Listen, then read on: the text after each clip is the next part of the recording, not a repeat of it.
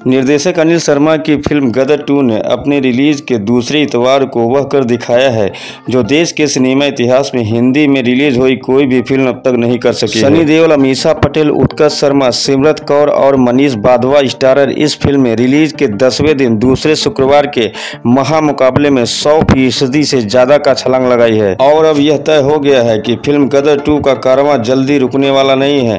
Film का collection इसी रफ्तार से बढ़ता रहा तो फ़िल्म जल्द ही शाहरुख खान, दीपिका पादुकोण और John Abraham starrer film Pathaan के सबसे ज़्यादा कलेक्शन के रिकॉर्ड को भी पीछे छोड़ देगी। यहाँ हम आपकी जानकारी के लिए बताना चाहेंगे कि हिंदी में रिलीज़ किसी फ़िल्म का दूसरे रविवार के दिन सबसे ज़्यादा कलेक्शन अभी तक फ़िल्म बाहुबली टू का रहा है, जिसने इस दिन चौतीस करोड़ रुपए की कमाई की थी। फ़िल्म गदर टू के रविवार देर शाम तक के कलेक्शन के जो शुरुआत रुझान सामने आ रहे हैं, उसके मुताबिक यह फ़िल्म रिलीज़ के दसवें दिन 40 करोड़ रुपए कमाती दिख रही है। ये कलेक्शन फ़िल्म के दूसरे शुक्रवार को हुए कलेक्शन 20.50 करोड़ रुपए से करीब 100 फ़ीसदी ज़्यादा है।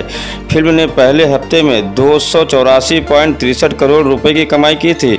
दूसरे शुक्रवार के बाद शनिवार को भी फ़िल्म का कलेक्शन करीब इक्यावन फ़ीसदी उछल कर करोड़ रुपए रहा है और दूसरे रविवार को कलेक्शन तो दूसरे शुक्रवार के मुकाबले बहुत ही ज़्यादा रूप से बढ़ गया है। फ़िल्म गदर टू दूसरे रविवार की कमाई मिलाकर अब तक तीन सौ छिहत्तर करोड़ रुपए कमा चुकी है। फ़िल्म का कलेक्शन दूसरे सप्ताह में ही 400 करोड़ रुपए पार हो जाने की पूरी उम्मीद दिख रही है। और फ़िल्म का कलेक्शन इसी रफ्तार से बढ़ता रहा तो यह फ़िल्म पठान के कलेक्शन को भी पीछे छोड़ सकती है। दोस्तों, यहाँ हम आपसे कहना चाहेंगे कि अगर आपको अभी सनी देओल की यह फ़िल्म बहुत पसंद है तो प्लीज़ दोस्तों, हमारे चैनल को सब्सक्राइब, लाइक ज़रूर कर दीजिएगा।